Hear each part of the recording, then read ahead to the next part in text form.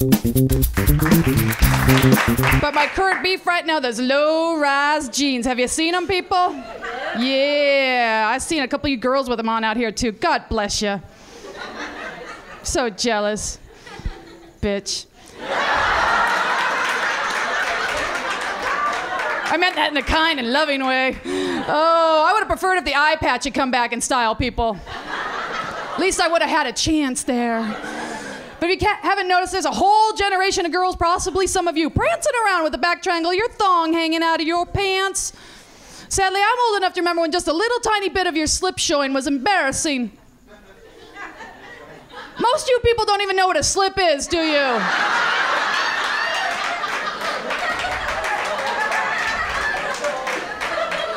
After the show, I'm going to take you all on a field trip to the Smithsonian to see one. Yeah, now the butt crack is the new erogenous zone, the new cleavage. and butt crack girl, wherever she is, God bless her, she's a superhero. Yeah, and her supernatural abilities include killing off IQ points with just a flash of a crack. That's right.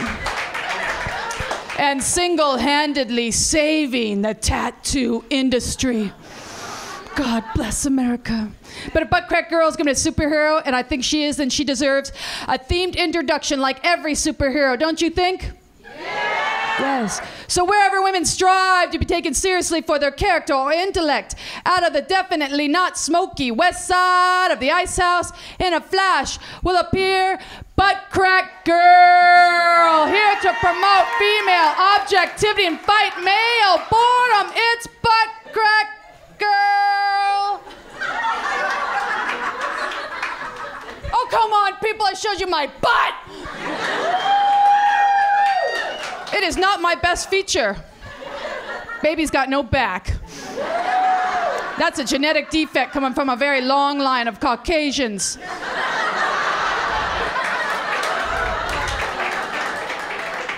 That'd be funny if I showed you my butt crack for real, huh? Sadly, I'm old enough to know when to keep the cottage cheese in the carton.